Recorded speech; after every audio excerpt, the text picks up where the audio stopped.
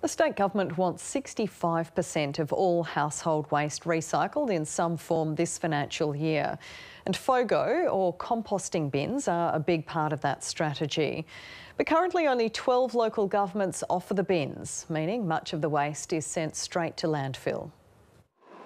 Each day, around 15 trucks dump waste from food and garden organic or FOGO bins at this composting facility in Perth's south. The trucks deliver vegetable and food scraps, plants, and the occasional unwanted item. It's the food and garden waste from 55,000 homes in the southern suburbs. In total, it equates to about 30,000 tonnes each year.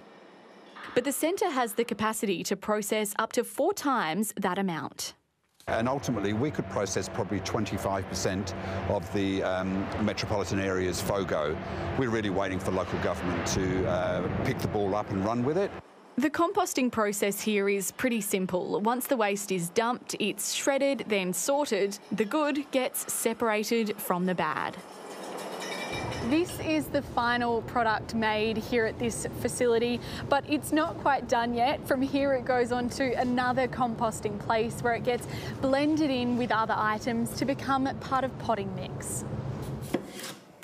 In Rockingham, where Madison Key lives, the council doesn't provide a FOGO bin. Instead, to compost her food waste, she's spent $600 on appliances that turn her scraps into compost chips. Chuck that in. I just thought I don't want the scraps going to landfill where they can't break down, buried under a whole bunch of rubbish. She wishes she could put her food scraps in with her garden waste. Definitely would have made it a lot easier. When organic waste goes to landfill, it contributes to methane emissions.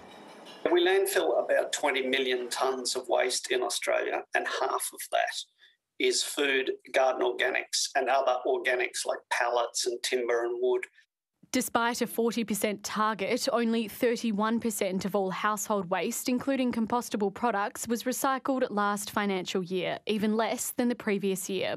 The state government is aiming for 65% this financial year, but that's more than double current rates. And that could be tricky with just 12 of the nearly 140 councils in WA currently offering FOGO bins. Evelyn Manfield, ABC News.